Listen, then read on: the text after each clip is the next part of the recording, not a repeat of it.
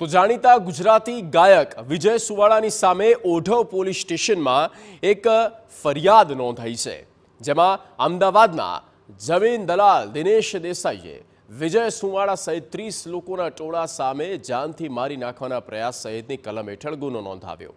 બંને પક્ષકારો વચ્ચે બે હજાર વીસમાં મંદુખ હતું. આ જ મંદુખને પગલે બબાલ થયાની આશંકા. ફરિયાદી દિનેશ દેસાઈનો આક્ષેપ છે કે મંદુકમાં સમાધાની વાતો વચ્ચે વિજય સુવાળાએ પોતાના માણસો સાથે હુમલો કરી હત્યાનો પ્રયાસ કર્યો છે. ઘરે હતા ને સાડા અગિયાર આસપાસ આ ચાલીસ એક ગાડીઓ, ત્રીસ એક ગાડીઓ અને દસ એક બાઇકો રિક્ષા સાથે, લાકડી, ધારિયા, તલવાર સાથે આ લોકો બધા જ લોકો દારૂના નશામાં મારી ઓફિસ જે ઘરથી વોકિંગ ડિસ્ટન્સમાં છે, ત્યાં પહોંચી ગયેલ હતા. તોડફોડ કરવાનો પ્રયત્ન કરેલ મને જાનથી મારી નાખવાનો પ્રયત્ન કરેલ. અને આ આખી ઘટના અઢાર તારીખે રાત્રે બનેલ હતી. સુવાળાએ તમામ આરોપો ફગાવ્યા. સુવાળાએ વળતો પ્રહાર કરતા આરોપ લગાવ્યો કે સસ્તી પ્રસિદ્ધિ માટે દિનેશ દેસાઈ તરકટ કરે છે. વિજય સુવાળાએ દિનેશ પર ખંડણીનો પણ આરોપ લગાવ્યો. આ દિનેશ દેસાઈ નામનો વ્યક્તિ સસ્તી પ્રસિદ્ધિ મેળવવા માટે ત્રણ ચાર વર્ષથી મારા પાછળ પડી ગયો હતો, મને હેરાન કરતો હતો.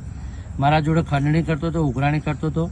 અને મને એવું કહેતો હતો કે મારી સત્તા બહુ છે, મારી પહોંચ બહુ ઊંચી છે.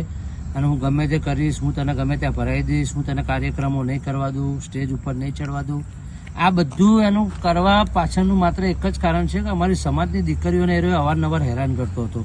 જેની ફરિયાદો પાંચથી છ મારા જોડે આવી, જે વિશે અમે સામાજિક કાર્યકરો એના ત્યાં મોકલ્યા. આ વાત એને ખટકી. અને એને મને સીધી ધમકી આલી કે આ બાબતે કોઈ મારા ઘરે આવું જોઈએ ને મને કોઈ પ્રશ્ન પૂછવા જ નહીં.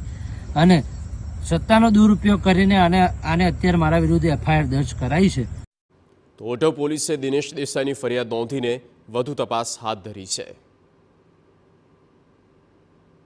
તેઓને ફોન ઉપર વિજય સુવાળા અને તેના ભાઈ યુવરાજ સુવાળા અને બીજા અન્ય માણસોએ ફોન કરી અને જાનથી મારી નાખવાની ધમકી આપેલ હતી.